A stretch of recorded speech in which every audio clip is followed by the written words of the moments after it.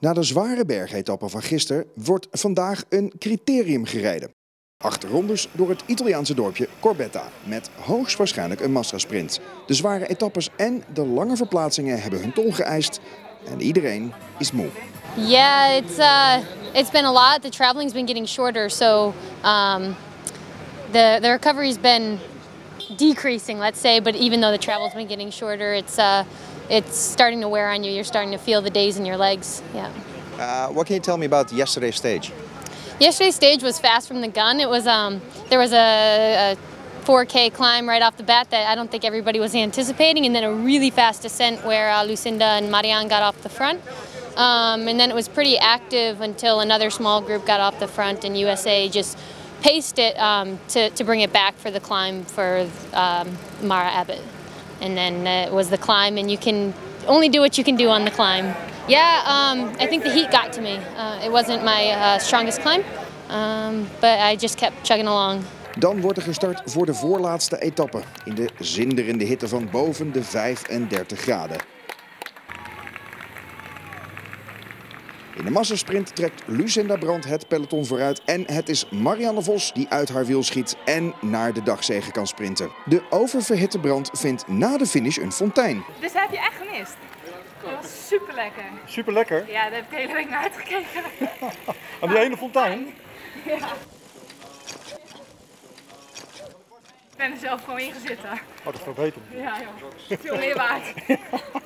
Lucinda, wat ben je nat? Ja, ik heb eindelijk fontein gevonden waar ik een week naar op zoek was.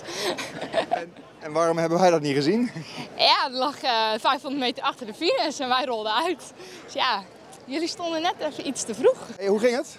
Ja, het was een snelle race. Eigenlijk ook een beetje saai, omdat uh, Amerika continu aan het controleren was. Uh, niks kwam weg. Wel continu heel hoog, dus dan dacht je dat je van voor zat. En dan zat je weer van achter natuurlijk.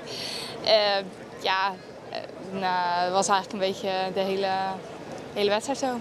Ja, want jullie hebben wel geprobeerd om weg te springen. Nou, niet zelf proberen te maken, maar wel mee te springen. Uh, we zijn nog maar met zes. Uh, Marianne moet zich rustig houden. Ja, ik wil wat overhouden om de sprint vaak kunnen aantrekken. Dus met vier kan je dan echt maar vol. Dus, uh, en zeker als zo'n koers zoals dit, dan lukt het gewoon niet om continu met z'n allen van voor te zitten. Dus hebben we gewoon afgesproken mee te gaan en niet zelf te proberen. Want je rijdt jezelf helemaal kapot dan. dus maar eigenlijk werd continu dichtgereden. Maar goed, en dan de finish. Ja, uh, we zaten goed van voor. Vanaf een kilometer of acht of zo uh, zaten we daar. En uh, ja, Marianne heeft me van de week een keer verteld dat ik moet doen alsof ik mijn eigen sprint rijd. Dus dat heb ik dan maar ook gedaan. En het kilometer of drie te gaan, toen trok Ellen van Dijk hem op gang. En daar was ik eigenlijk wel blij mee. Toen kwam er niks meer omheen de hele tijd, want dat is altijd het moeilijkste. En ja, je hebt hier een dubbele bocht, wat is het, op 400, 450 meter voor de finish liggen. En ik heb hem de vol onderdoor geknald. En uh, ja, ik, ik, volgens mij had ik een gat. Dus, en uh, met 200 meter te gaan kwam ze overheen en uh, Marianne maakt perfect af. Marianne Vos!